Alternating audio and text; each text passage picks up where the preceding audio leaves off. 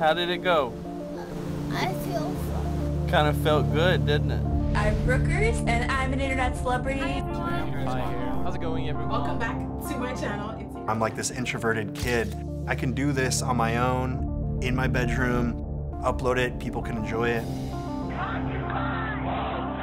Here's finally a service where if you want to get a political message out there, if you want to get some kind of message out there, I fell down the alt-right rabbit hole. you can use this platform. You're not going to be able to turn on the TV and be able to see this. Web giant Google will pay $1.6 billion to gobble up YouTube. The uh, the making of YouTube. Here's your new key to the new office. There was no doubt in my mind that this was going to be a huge trend of the future. YouTube celebrities are laughing along with their fans all the way to the bank. This kid, Ryan, who earned $22 million this year. They want growth, growth, growth. Everything's about growth. Go hit that like button.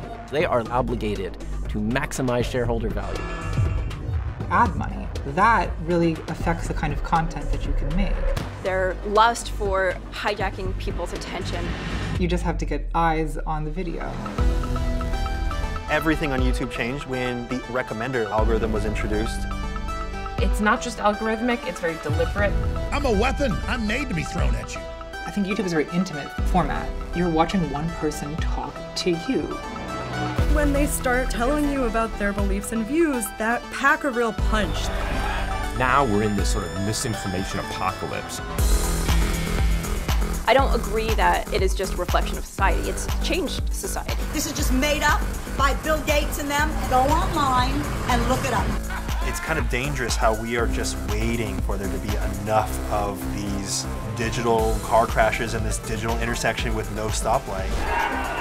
If we don't figure out this problem, we're gonna lose what it means to be human.